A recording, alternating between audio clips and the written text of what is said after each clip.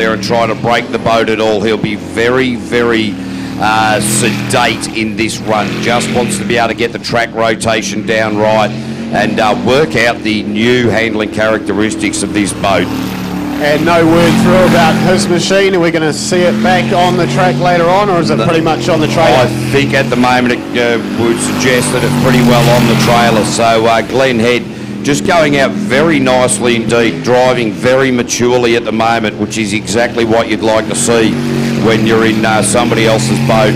And uh, so this is very good run at the moment. The split isn't too bad for his first time out in this boat at a 40.215. So uh, certainly looking quite smooth out there at the moment. Another one of the uh, Nissan twin turbos, very, very quiet.